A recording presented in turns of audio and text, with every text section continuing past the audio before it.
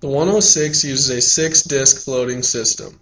If the red disc is floating, your coolant is safe to 20 degrees Fahrenheit. If the black disc is floating, your coolant is safe to 10 degrees Fahrenheit. If the blue disc is floating, your coolant is safe to 0 degrees Fahrenheit.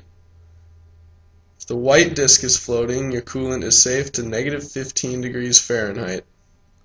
If the yellow disc is floating, your coolant is safe to negative 34 degrees Fahrenheit, and if the orange disc is floating, your coolant is not safe and should be replaced. Begin by undoing the coolant reservoir cap. Next, insert the probe tube into the tank and squeeze the bulb to draw the fluid to the marked line on the tool.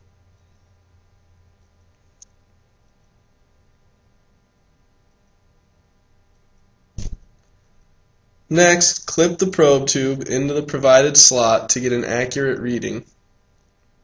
Once you've made your reading, empty the fluid back into the tank. Finish by reapplying the cap securely.